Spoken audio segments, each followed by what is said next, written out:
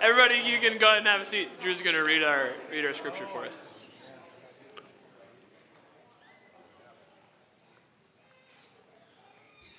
Well, to belabor the point, good morning to all of you. Uh, the scripture reading this morning is from 2 Kings chapter 5, uh, and it's the whole chapter. So please read along with me and let's hear the word of the Lord together.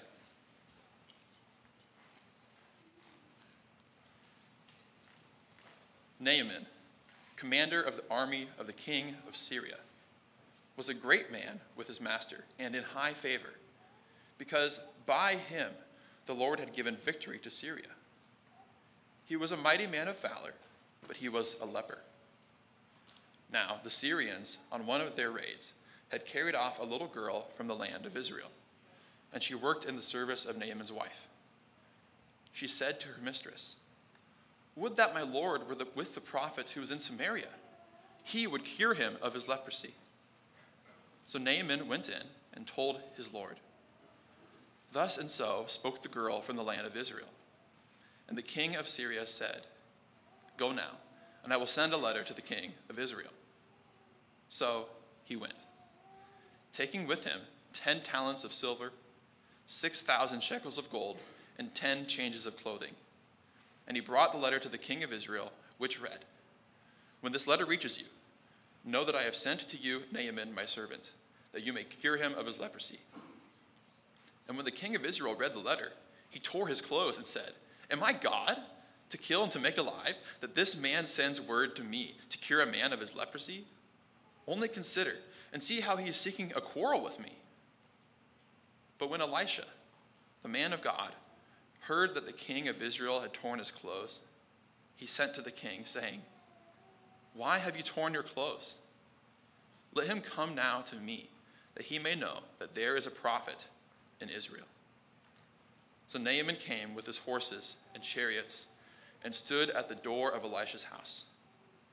And Elisha sent a messenger to him, saying, Go and wash in the Jordan seven times, and your flesh shall be restored and you shall be clean. But Naaman was angry and went away, saying, Behold, I thought he would surely come out to me and stand and call upon the name of Yahweh his God, and wave his hand over the place and cure the leper. Are not Abana and Pharpar, the rivers of Damascus, better than all the waters of Israel? Could I not wash in them and be clean? So he turned and went away in a rage. But his servants came near and said to him, my father, it is a great word that the prophet has spoken to you. Will you not do what he says? Has he actually said to you, Wash and be clean?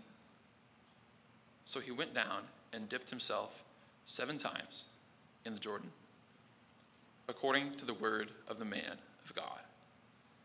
And his flesh was restored like the flesh of a little child, and he was clean. Then he returned to the man of God he and all his company, and he came and stood before him. And he said, Behold, I know that there is no God in all the earth but in Israel. So accept now a present from your servant. But he said, As Yahweh lives, before whom I stand, I will receive none. And he urged him to take it, but he refused. Then Naaman said, If not, please let there be given to your servant two mule loads of earth.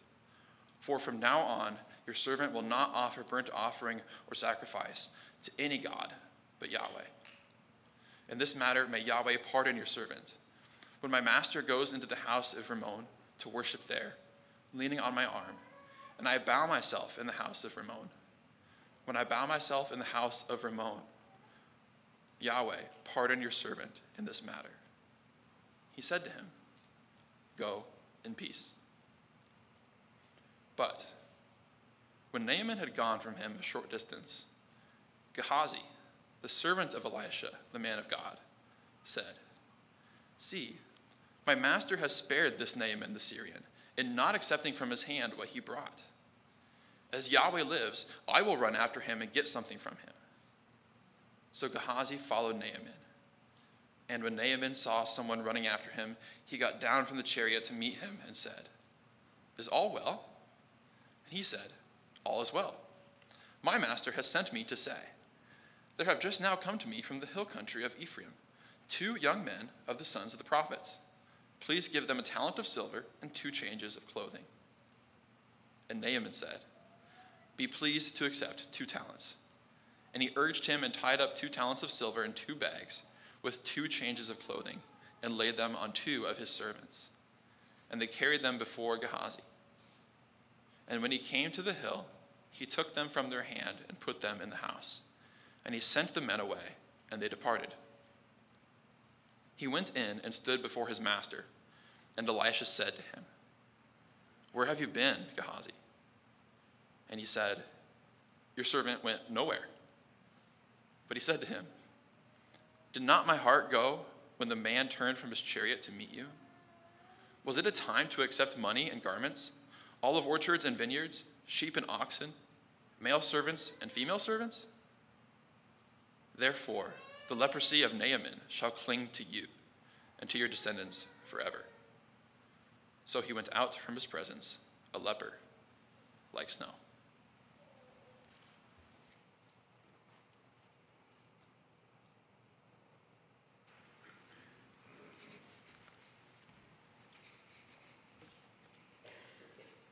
Thanks, Drew.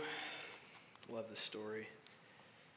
Uh, my name's Ben. I'm the associate pastor here, and it's just a privilege to be in the Word with you all this morning. So, uh, we're powerless to both speak God's Word or to hear God's Word. We need a Spirit, so let's pray together. Heavenly Father, my prayer is that you would give your servants understanding according to your word. That we would be informed, but not just informed, transformed uh, from one degree of glory to the next. I pray that those in the room who don't know Jesus would hear the gospel and respond this morning. Those of us who do know him would be encouraged and pressed on to love and good deeds. I pray these things in Jesus' name. Amen. Well, I love a good story. Uh, anything that has a like a twist in it is especially a favorite of mine. Um, something, an event that happens that changes the way you look at the whole story. I'm thinking of Probably the most famous one would be Star Wars, Luke Skywalker, Darth Vader, when Darth Vader says, I'm your father. And it's just like, oh my, the whole story changes. It's all different than we thought it was. It's not just good versus evil. It's not just Luke Skywalker versus Darth Vader. It's father, son. It's, it's intimate. It's betrayal. It's, it's family. For you younger folks, I'm thinking uh, Harry Potter, the third book, Prisoner of Azkaban, when Harry is fleeing from this dangerous Sirius Black, the escaped prisoner, the whole book. And then at the end, we realize that Sirius Black is actually his godfather. He was framed for murder, and he's been protecting Harry the whole time. Changes the way that we look at the whole story. And uh, this story here in, in 2 Kings chapter 5 is is actually one of those stories. It has a it has a big twist. We have this problem that we're trying to solve the whole story, but then there comes a point where we realize the problem's different than than we thought it was, and it changes the way we look at the whole story. And, and I think maybe the key to noticing what the real problem is, where the twist is, is noticing the servants in this story. So I think the main point that we're getting at here is this the main point of our story God is purifying his servants. God is purifying his servants. So, our, our basic layout today is I'm going to tell the story. Uh, that'll take a majority of our time. I'm just going to work through the story, pointing out details that I think are really relevant to the point that the story is making. And then at the end, I'll, I'll make three statements, kind of three application points about God's purifying work that we must believe and obey in order to ourselves be faithful servants, in order to respond to this story how we're supposed to. So, tell the story, three points. Don't be scared when we're half an hour in and I haven't gotten any points yet. That's, that's normal. That's uh, how I practiced it. So uh, let's jump in. Before we actually start reading, I'll, kind of, I'll read through the whole story as we go here. But before we start reading, I think there's two realities you need to understand in order to understand this story. Two realities. So, number one is leprosy. You'll notice that one of the main characters is a leper. The story starts with leprosy and ends with leprosy. So, what is leprosy? It's, it's this broad term in the Old Testament, Old Testament times, for a, a whole variety of different skin diseases that make somebody uh, kind of, it's kind of like dry rot on your skin. And so your fingers fall off, then, then your hands and feet, and eventually you die. It's not a good thing. It was much feared in the ancient world, and more significantly, in the religious system that God set up in the first five books of the Bible, the, the Pentateuch, the Torah, uh, leprosy made you ritually impure. It made you unclean so that you couldn't participate in the religious life of your, of your tribe and of your country. So it was a, a distancing factor, not just physically, but socially and, and religiously as well. So there's leprosy. Second would be the idea of national deities. National deities, that is, gods that control countries. So back in the day, there wasn't a separation between churches and states. Uh, rather, religion and government were, were well tied together. And so every country, more or less, had a god or gods that they served and worshiped. And that god either did well for them or didn't do well for them. So behind national conflicts was actually religious conflicts, spiritual conflicts. So, so if one nation is getting stomped by another nation in war, what do you think that means about their gods? Well, the, the one God is, is stomping the other God in the heavens. And that dynamic is going to come into play really significantly in this story. So, the God of Israel, the national deity of Israel, is, is Yahweh, the Lord, the maker of heaven and earth. And then we learn that the national deity of Syria is this god called Ramon. And uh, when I preached this to the leadership class last week, they all asked, What do we know about Ramon? And I looked. We don't know anything about Ramon. This is like the only place in the Old Testament that he shows up. So all you need to know, he's the national deity of, of Syria. He's, he's connected with them. All right, those are the two realities leprosy, national deities that we need to know to understand the story. So let's jump in chapter 5, verse 1.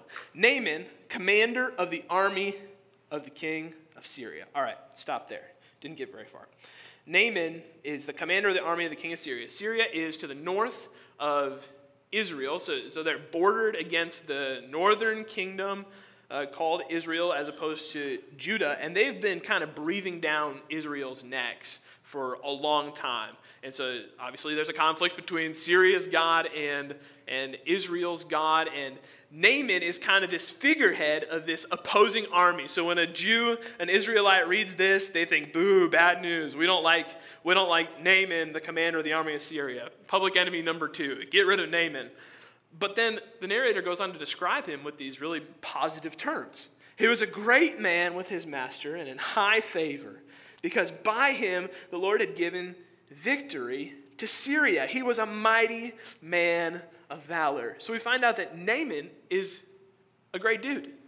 You, you want Naaman on your team. He's a faithful servant. Notice, servant. He's a faithful servant to the, to the king of Syria, but he's also been kind of ignorantly, kind of unknowingly, a servant of the Lord. Do you notice that? By him, the Lord had given victory to Syria. He was a mighty man of valor. And then our narrator sets up the main problem of the story but he was a leper.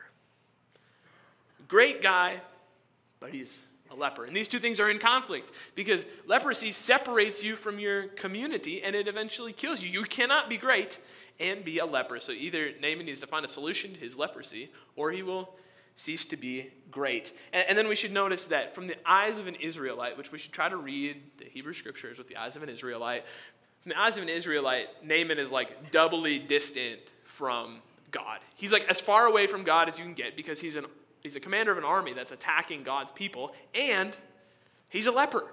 Even if somehow he became an Israelite, he'd still be distanced from God because of his leprosy. So, bad news Naaman's in a bad, bad spot, even though he's a good guy. So, what are we going to do about it? Now, the Syrians, on one of their raids, had carried off a little girl from the land of Israel, and she worked in the service of Naaman's wife. She said to her mistress, this innocent little girl, just kind of thinking out loud, she says, Would that my Lord were with the prophet who's in Samaria. He would cure him of his leprosy. This little girl is just thinking, man, wouldn't it be, wouldn't it be great if, if Naaman was, was in my home country? There's a prophet there who could, who could help him out. So here we have this little, little servant girl just being kind of a mouthpiece for the Lord. Uh, maybe you should go and talk to the, to the prophet who's in Samaria. And we might expect Naaman to kind of brush this off. You know, he's this great commander, and here's this little girl that he carried off as the spoils of war, giving him a suggestion about how he should deal with his leprosy problem. But, but Naaman's not like that. He's, he's desperate and he's humble. And so he, he takes what the girl says, and like any good servant, he goes to his master. Naaman went in and told his Lord, Thus and so spoke the girl from the land of Israel told, her the told him the solution to the problem.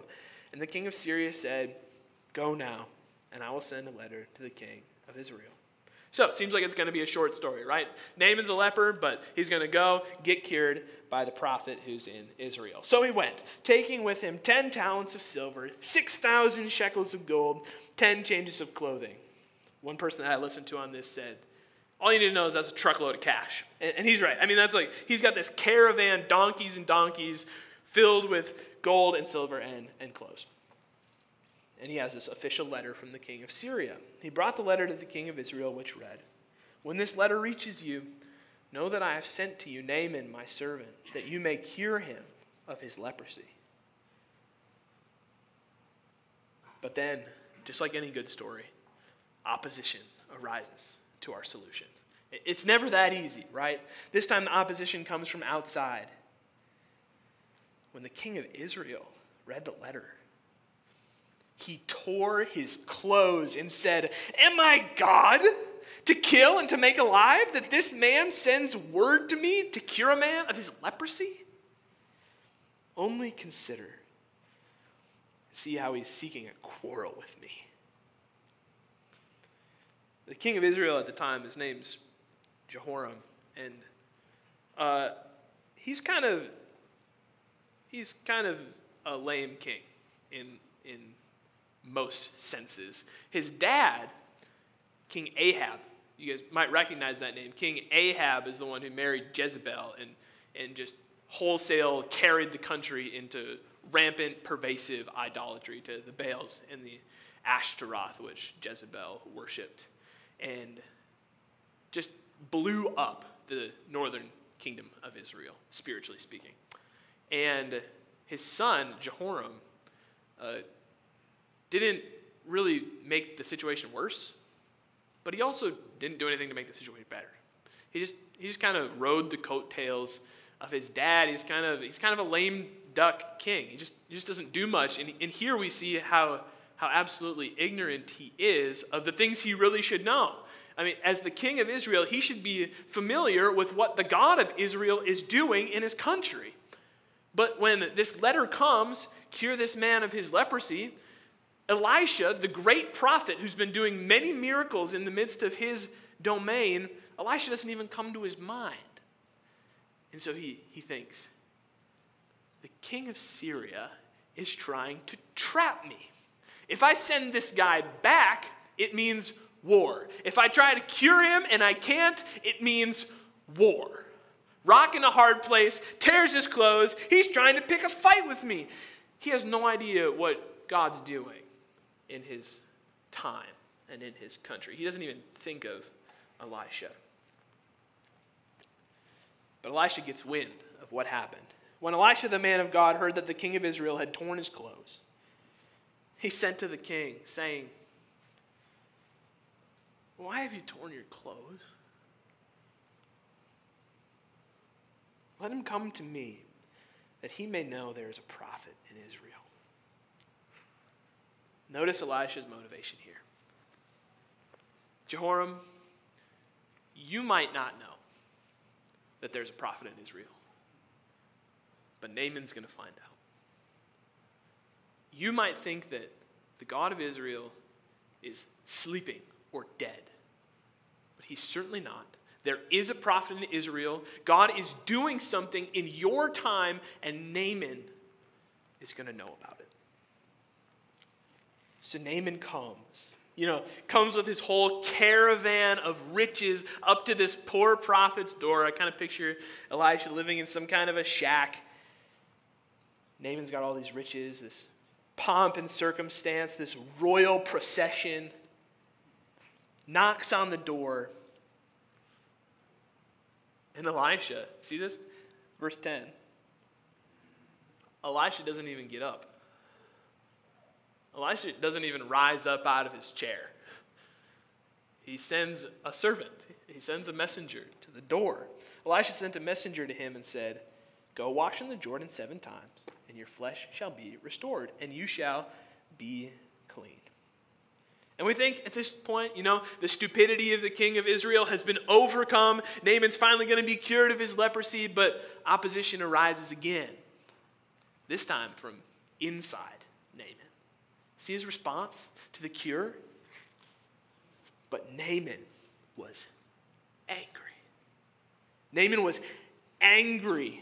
And he went away saying, He's angry for two reasons. First, behold, I thought that he would surely come out to me how dare he ignore my royal procession and stay in his chair and send a messenger? But he's not just angry about Elisha not standing up. He's angry about the method that Elisha prescribed for him to be healed. He said, I thought he'd come out to me and stand and call upon the name of Yahweh his God and wave his hand over the place and cure the leper. Are not the Abana and the Pharpar, the rivers of Damascus, better than all the waters of Israel? Could I not wash in them and be clean? So he turned and went away in a rage. The solution that Elisha gives is basically a, a complicated bath. Right? It's just intricate instructions for going and taking a bath. And that's not what Naaman wanted, is it? He wanted something miraculous. He wanted something fantastic, something spontaneous, something instantaneous, something divine. Surely Naaman had tried taking a bath before. And surely the rivers of Damascus were better, cleaner than the waters of the Jordan. So he's not happy with the solution that Elisha gives to his problem. And maybe we could just maybe we could just pause right here. Jump out of the story into our own day. I think oftentimes when we've got problems, when we're struggling with a certain sin or we're being sinned against in a certain way, when we need healing or cleansing,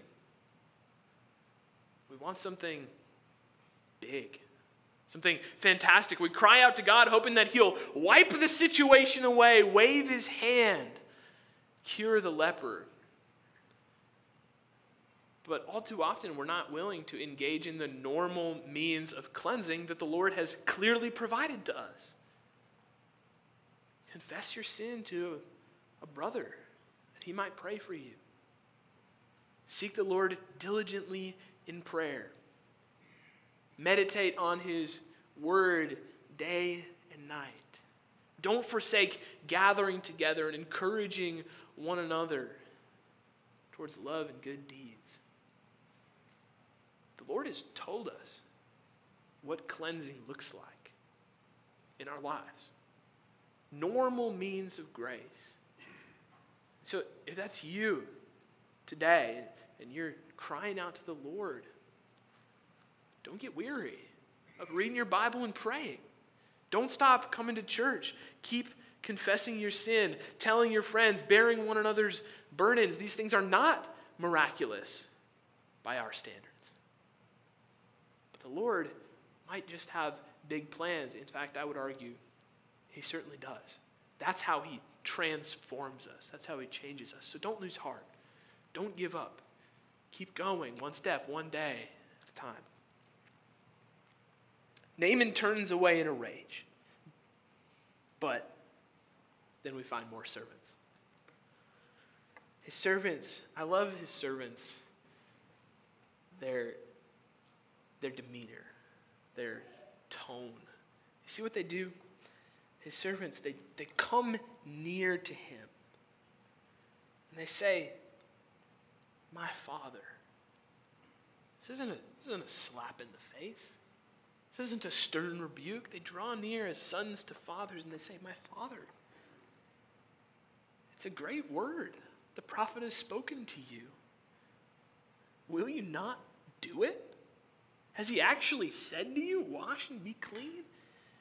His servants just draw near tenderly, compassionately, and just remind him of the prophet's words. Isn't it worth a shot? Naaman? Shouldn't you at least give it a try? What other options do you have? So he gives in. He went down and dipped himself in the Jordan seven times, according to the word of the man of God. And what happens? The problem to our story is solved, and his flesh was restored like the flesh of a child, and he was clean. Glory Hallelujah. But there's a deeper cleansing going on here. There's a, there's a deeper transformation. He returns to the man of God. Let's just notice, he didn't have to do that. Naaman could have gone on his way. His problem was solved. But there was something bigger going on. The purpose that Elisha set out to accomplish was being accomplished. So he returns. That word for return is the same word as repent. He returned to the man of God, he and all his company, and he came and stood before him and he said, Behold, I know that there is no God in all the earth but in Israel.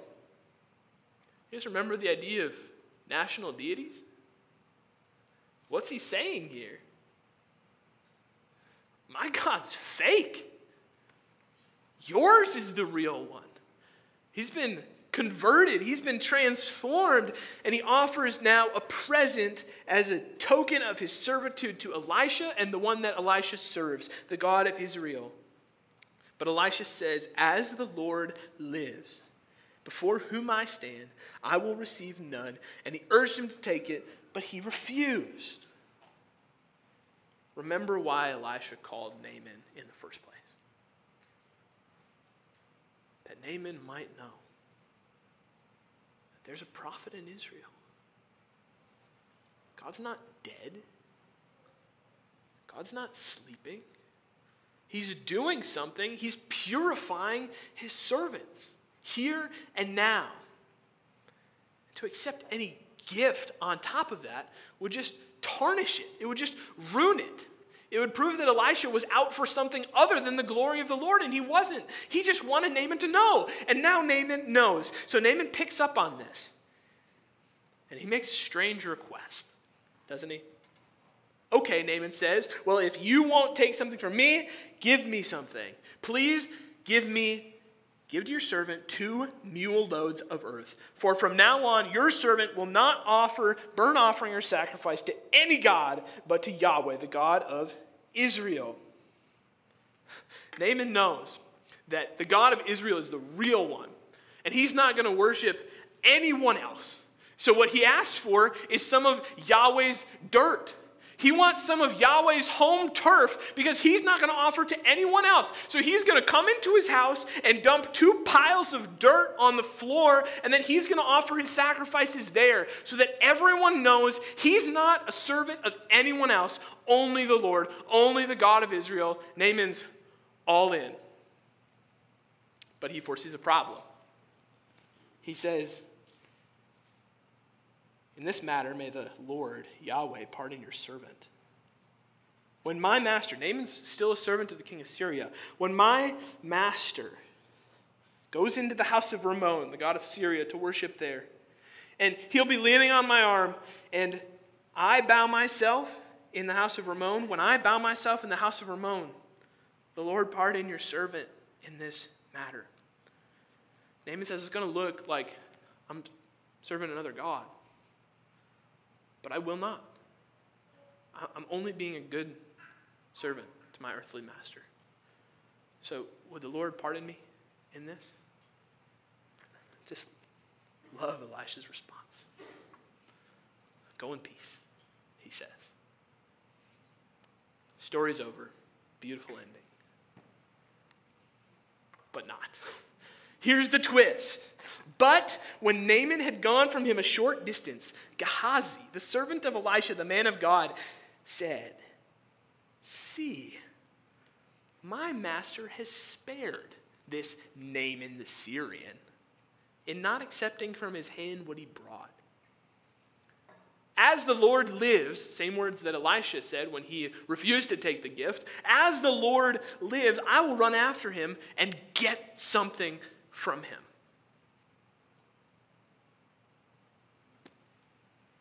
The story is not about the leprosy on Naaman's skin. It's not about an unclean Syrian general. It's about uncleanness in the ranks of Elisha's servants. There's dry rot happening in the hearts of God's prophets. And the Lord designs this real life parable to draw out the leprosy in the hearts of his servants. Gehazi is not content that the glory of the Lord be shown forth in Naaman's life. Rather, he wants to get something.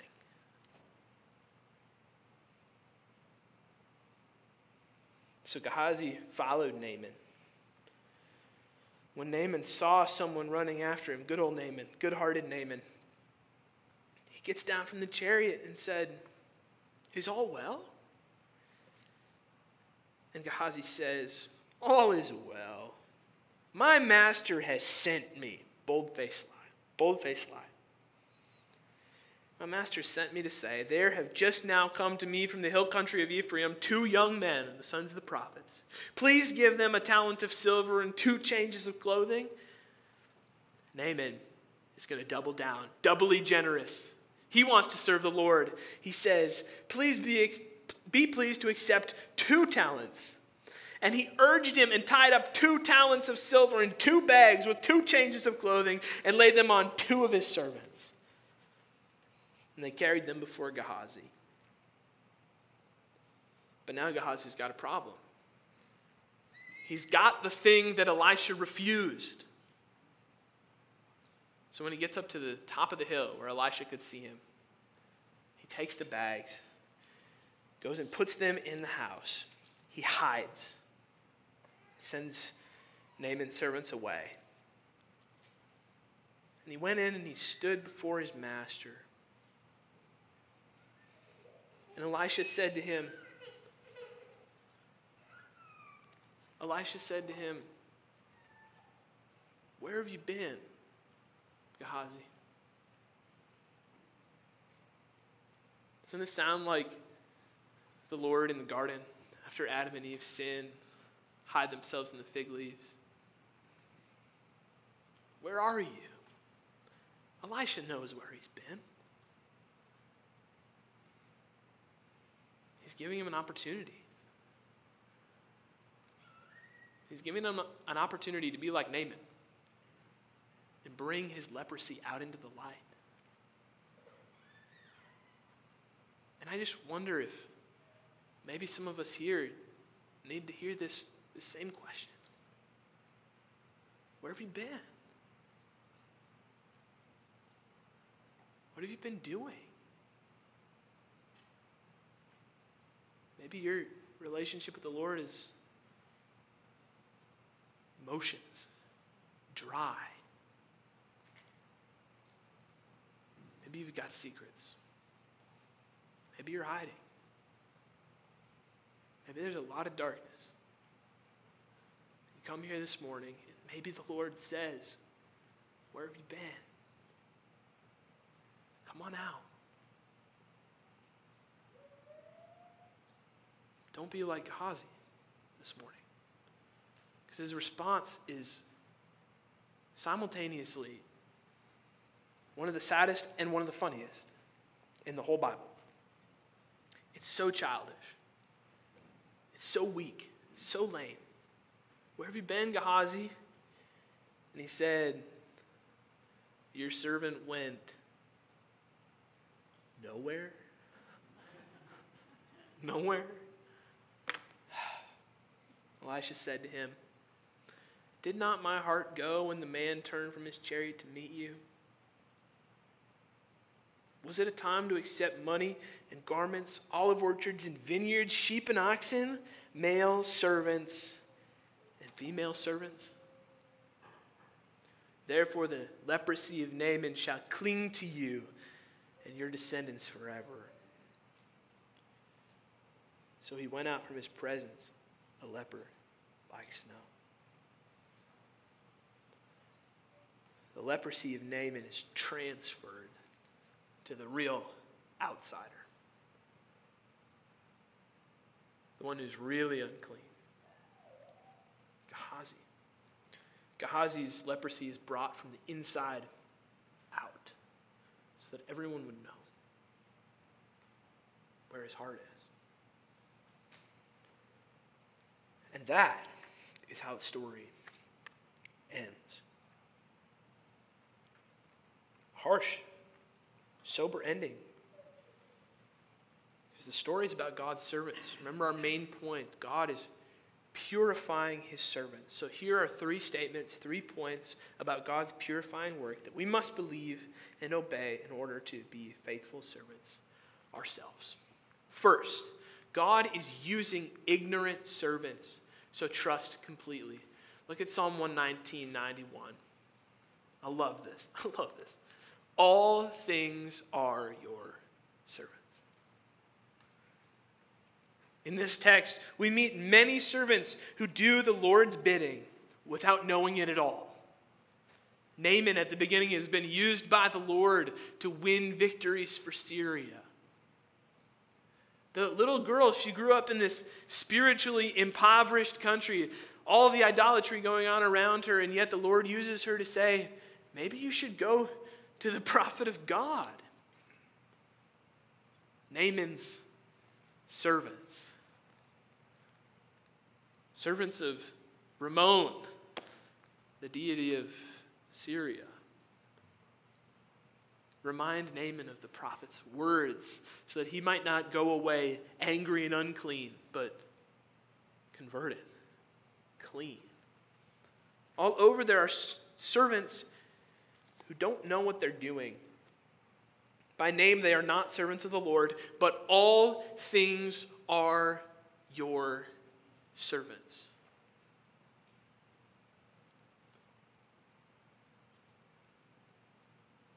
If only, if only we would dare to believe that in our lives. You know the challenges in your marriage? That really difficult child that you have? You know that, that boss at work? You know the mental health struggles you've been having? You know the physical health struggles you've been having? The church conflict? The weather? All things are your servants. I was reminded of this this morning. This is silly, but I hope this lands it on real life a little bit. Just feeling restless this morning, trying to just striving to enter into the Lord's rest as I deliver the word to you. And I'm out sitting on our little, uh, the little playground out there, just breathing in the air, and I see this, this wasp come down onto a wood chip. And it's beautiful. I mean, it's just like, it's got red, and the, the yellow on it is like this fluorescent kind of yellow, and it's like hunting a bug that's there. And it's this just incredible story that plays out and just brings me outside of myself and reminds me that, like, what's going on in my head is, is so much smaller than what the Lord's actually doing in, in real life all around me. Just a little wasp. All things are your servants. The Lord just made this little story right in front of me to just bring me out, calm my nerves. What if, what if everything serve the Lord and those who serve him. Would you dare to believe it this morning? All things are his servants. So, so trust completely. Second, God creates unlikely servants. No one was farther from the Lord than Naaman. There was nobody more distant than him. And yet, God transforms him into a faithful servant of Elisha and, and the Lord. So, two different applications. If you're an unbeliever this morning and you're thinking, I don't know if God can purify me. You don't know what I've done. You don't know where I've been. You don't know how hard this all is for me. Amen. God's work is for you. There's no one too unlikely for the grace of God. About a thousand years after this story happened, another prophet shows up. And he references this story.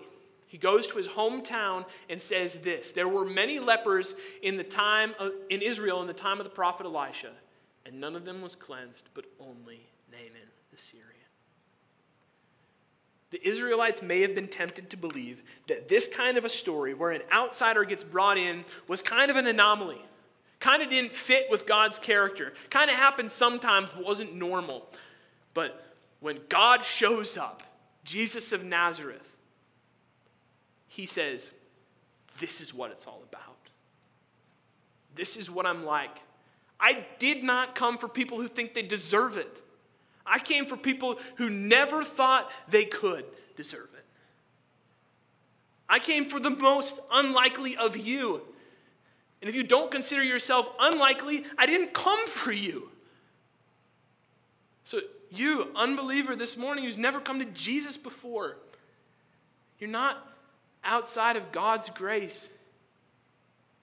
Jesus of Nazareth, a man attested to you by God by many mighty works and wonders and signs. He's risen, and you can rise too. For believers here,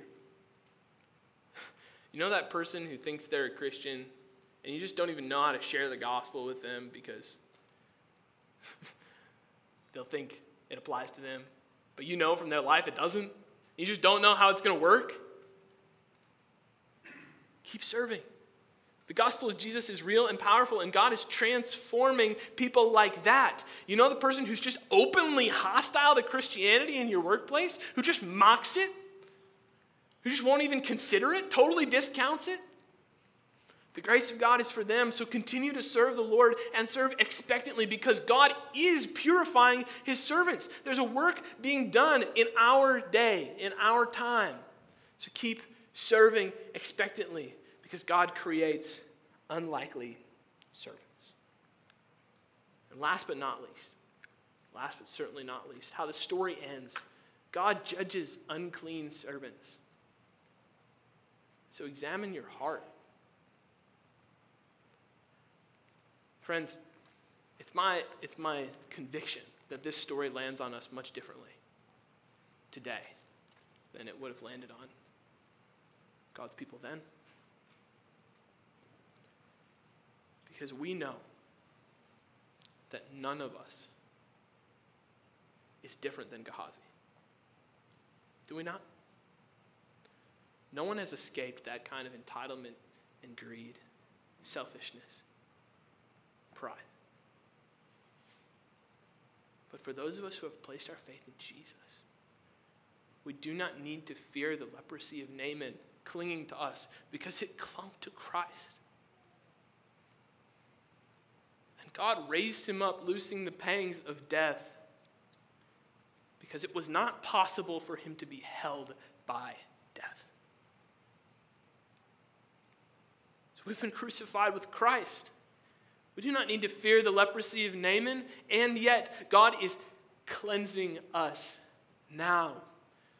We've been crucified with Christ, but we have a thousand little deaths to die as he makes us more and more like his son as we move deeper and deeper into Jesus. I can't help but think of the servants who came to Jesus and said, Look at all we've done. He said, I never knew you. So, do you hear the Spirit speaking to you this morning? Do not ignore it.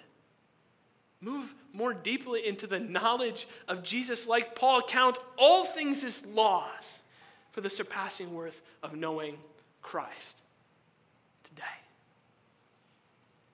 Let's pray. Heavenly Father, you sent your Son because we're all like Gehazi. Even those of us who have experienced deep and real grace are so tempted to go get something. So I pray that the gospel would be real to us today. The cleansing we experienced in Jesus for those of us who are believers would be brought back to our minds and refreshed in new confession and repentance and forgiveness. I pray for those who have not yet met Jesus that the opportunity to come to the prophet, be cleansed, be so real for them. Pray these things in Jesus' name.